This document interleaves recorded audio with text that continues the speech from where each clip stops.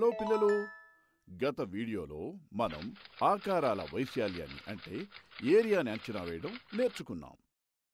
ఈ వీడియోలో కొన్ని ఆసక్తికరమైన ఉదాహరణల ద్వారా దీని గురించి మరింత తెలుసుకుంటాం. చంద తన దుకాణం నుండి ఇంటికి తిరిగి వెళ్తోంది. అప్పుడు తనకి ఒక చెట్టు కింద ఒక మెరిసే కాగితం కనపడింది. ఈ కాగితంపై ఒక వజ్రం యొక్క ఆకారం గీయబడింది. దాని వైశాల్యాన్ని అంటే ఏరియాని కనుక్కోండి. చంద కాగితంపై రాసిన సూచనలను చదివింది. చంద ఉత్సాహంగా ఈ వజ్రం ఆకారం రెండు సమాన భాగాలతో ఏర్పడినట్టు కనిపిస్తోంది అని అనుకుంది. అప్పుడు చంద ఆ వజ్రం ఆకారంలో ఇలా ఒక నిలువు రేఖను గీయడం జరిగింది. ఎందుకంటే ఈ వజ్రం ఈ రెండు సమాన భాగాలతో ఏర్పడింది. కాబట్టి నేను కేవలం ఇటువైపు ఉన్న వజ్రం ఆకారం యొక్క వైశాల్యాన్ని కనుక్కుంటే అప్పుడు మొత్తం వజ్రం వైశాల్యాన్ని కనుక్కోవడానికి ఈ భాగం వైశాల్యాన్ని రెండుతో గుణిస్తే సరిపోతుంది. అని చంద అనుకుంది. అప్పుడు చంద వజ్రం ఆకారం ఆక్రమించిన ప్రదేశంలో ఇలాంటి దీర్ఘచతురస్రాన్ని త్రిభుజాన్ని గీసింది. ఈ పెద్ద త్రిభుజం ఈ చదరంలో సగం. ఈ చదరం వైశాల్యం ఆరు ఇంటూ ఆరు అంటే ముప్పై ఆరు చదరపు సెంటీమీటర్లు. కాబట్టి ఈ పెద్ద త్రిభుజం వైశాల్యం ముప్పై ఆరులో సగం అంటే పద్దెనిమిది చదరపు సెంటీమీటర్లు. ఈ చిన్న త్రిభుజం ఈ చదరములో సగం. ఈ చిన్న చదరం వైశాల్యం రెండు ఇంటూ రెండు అంటే నాలుగు చదరపు సెంటీమీటర్లు. కాబట్టి ఈ చిన్న త్రిభుజం వైశాల్యం నాలుగులో సగం అంటే రెండు చదరపు సెంటీమీటర్లు.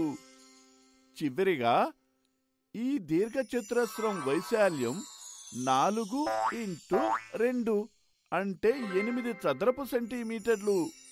ఈ అన్ని ఆకారాల వైశాల్యాన్ని జోడించడం ద్వారా నాకు వజ్రం యొక్క ఈ భాగం వైశాల్యం లభిస్తుంది. వజ్రం యొక్క ఈ భాగం వైశాల్యం ఇరవై ఎనిమిది చదరపు సెంటీమీటర్లు. ఈ విధంగా చంద వజ్రం యొక్క ఈ భాగం వైశాల్యాన్ని చిటికలో కనుక్కుంది. కాబట్టి వజ్రం ఈ రెండు సమాన భాగాలతో ఏర్పడింది. అది వజ్రం యొక్క ఈ భాగం వైశాల్యం ఇరవై ఎనిమిదిని రెండుతో గుణించింది. ఈ వజ్రం వైశాల్యం ఇరవై ఎనిమిది ఇంటూ రెండు అంటే యాభై ఆరు చదరపు సెంటీమీటర్లు. చందా వెంటనే కాగితం పైన వజ్రం వైశాల్యం యాభై ఆరు చదరపు సెంటీమీటర్లు అని రాసింది.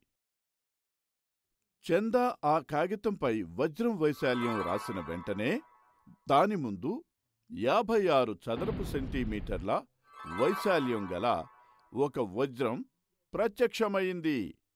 చందా కళ్ళను తనే నమ్మలేకపోయింది. ఇప్పుడు కాగితంపై ఒక కొత్త పజిల్ కనిపించింది. ఇక్కడ ప్రత్యేకమైన వజ్రం ఆకారం గీయబడింది. ఈ వజ్రం వైశాల్యాన్ని కనుక్కొని అద్భుతమైన నిధిని పొందండి. చందా కాగితంపై రాసిన సందేశాన్ని చదివింది.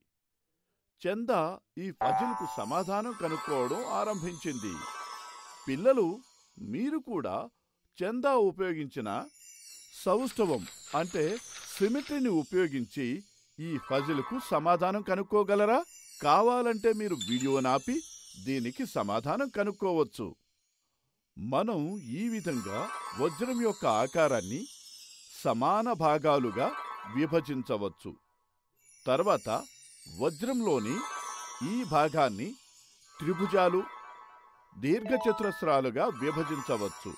ఇప్పుడు మనం చేయాల్సిందల్లా ఈ త్రిభుజాలు మరియు దీర్ఘచతురస్రాల వైశాల్యం కనుక్కోవడమే. ఇప్పుడు మనం ఈ అన్ని ఆకారాల వైశాల్యాన్ని జోడించడం ద్వారా వజ్రం యొక్క ఈ భాగం వైశాల్యం తొంభై చదరపు సెంటీమీటర్లు అని కనుక్కోవచ్చు.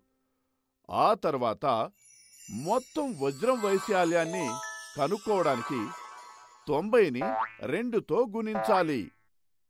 ఈ విధంగా ఈ వజ్రం వైశాల్యం నూట ఎనభై చదరపు సెంటీమీటర్లు అని తెలుస్తుంది. చందా కూడా మీలాగే ఈ ఫజిలుకు సమాధానం కనుక్కుని వజ్రం వైశాల్యం నూట ఎనభై చదరపు సెంటీమీటర్లు అని రాసింది. ఈసారి ఆ కాగితంపై చంద సమాధానం రాసిన వెంటనే కాగితం అదృశ్యమైపోయింది. ఆకాశం నుండి పండ్లు రాలిపడ్డాయి. చంద చాలా సంతోషించింది. ఆమె కొన్ని పండ్లను సేకరించి ఆపై వజ్రాన్ని కూడా తీసుకుని సంతోషంగా తన ఇంటి వైపు నడిచింది. పిల్లలు ఈ వీడియోలో మనం కొన్ని ఆసక్తికరమైన ఉదాహరణల ద్వారా ఆకారాల వైశాల్యం అంటే ఏరియాని అంచనా వేయడం గురించి బాగా తెలుసుకున్నాం.